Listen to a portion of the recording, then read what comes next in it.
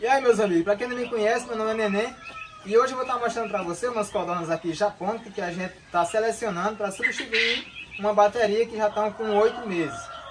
Não é que com oito meses elas estão velhas não, mas é que como a gente trabalha com ovos férteis, aí a gente tem que primar pela qualidade, porque vão estar em ordem tanto a postura como a fertilidade, quando elas são, estão nessa faixa etária aí.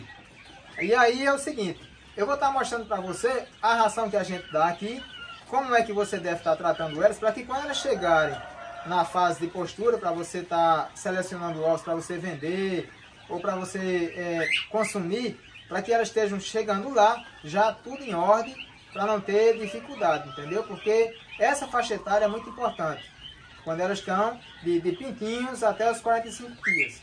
Por isso eu vou estar mostrando para você as codornas, como é que a gente está tratando elas e que peço que deixe aquele joinha e se inscreva no canal e vamos nós.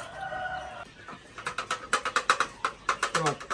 Nessa faixa etária aqui, elas estão com 18 dias hoje. A gente está tratando com a ração inicial. Ou de crescimento. Eu vou explicar o porquê. A gente estava dando a ração pré-inicial. Que é essa daqui, ó. Pré-inicial da pré-forte. Então, se a gente estava dando a pré-inicial até os 10 dias, que a gente costuma dar aqui, dos 10 dias até os 30 dias, a gente dá a ração inicial. Aí, nessa faixa etária aqui, pessoal, você tem que ter o máximo de cuidado para não causar estresse para ela, superpopulação, lugar quente, é, estresse com animais, barulho, porque aí é o que vai refletir no futuro, é o tratamento que você dá agora. Se você tratá-las bem agora, você veja que elas estão bem empenadinhas, as costas tudo empenadinhas. A codorna japônica que ela é mais arisca do que a gigante. Então, elas podem se pisotear, elas, elas estão estressadas, e fica aquelas peladas nas costas, entendeu? Ali é consequência de estresse. Não faltar ração de maneira alguma, nem a ração, nem a água limpa e sempre. Tem que estar tudo certinho. Elas estão mais ali porque elas são mais ariscas do que a gigante. Mas você veja que elas estão as codornas bem, bem tratadas, nutridas, tudo certinho. A codorna gigante, aliás, a japônica, ela vai comer entre 20 a 25 gramas de ração por dia. A gigante de 30 a 35 gramas de ração por dia. No caso, a gente está falando da de postura. Então, essas aqui, até os 30 dias, é ração à vontade.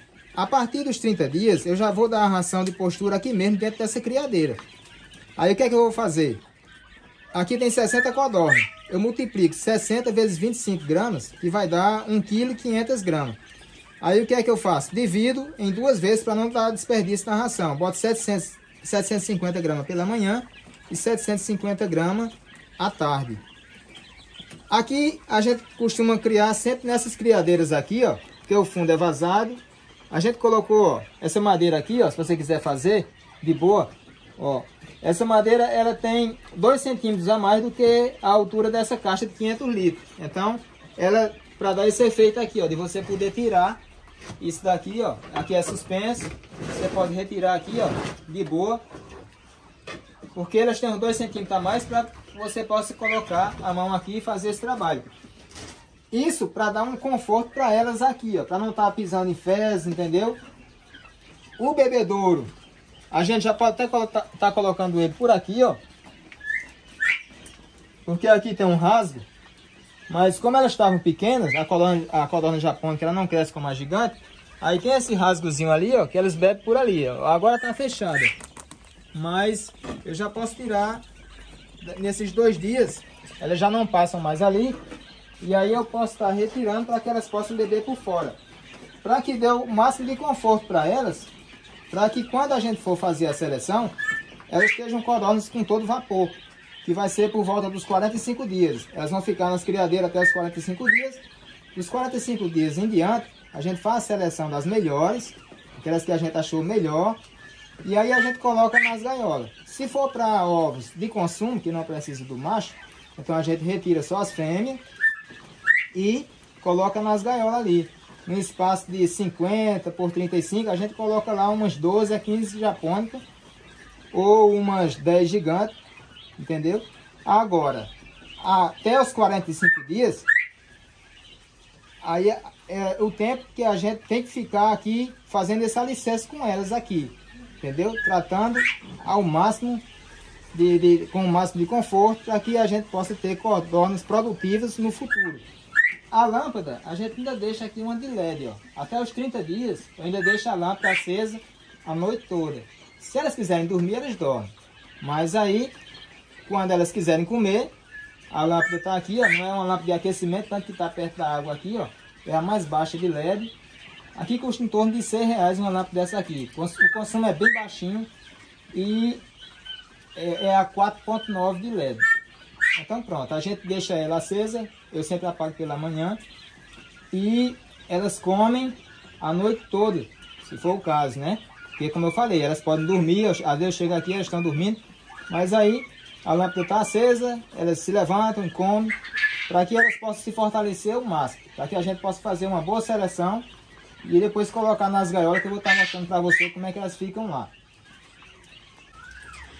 Pronto, aí depois que a gente faz a seleção, aí a gente coloca nessas gaiolas aqui, ó, baterias. Como a gente estava falando, coloca um macho para três fêmeas aqui, é da onde a gente tira os ovos galados, né, ovos para chocadeira. Meu contato tá aqui, ó, para quem quiser comprar ovos férteis, está aqui para falar diretamente comigo.